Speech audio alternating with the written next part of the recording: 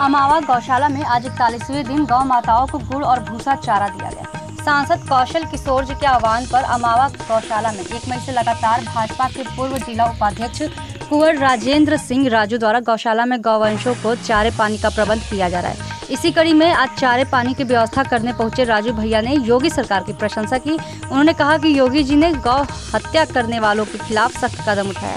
योगी जी ने गौ हत्या अधिनियम में संशोधन कर बहुत ही सुंदर निर्णय लिया है। इस ऐतिहासिक निर्णय से हमारे गौवंश और भी सुरक्षित होंगे। आज अमावा गौशाला पर राजेंद्र सिंह राजू के साथ गौरक्षा प्रमुख चंद्रभान सिंह, सुरेश सिंह, मंडल अध्यक्ष शिवबख्श सिंह, आशीष द्विवेदी, दल बहादुर सिंह, मुकेश कनौजिया, महेंद्र सिंह, दुर्गेश सिंह, विवेक राजपूत व अन्य लोग उपस्थित रहे। लखनऊ से हमारे संवाददाता नितिन पटेल।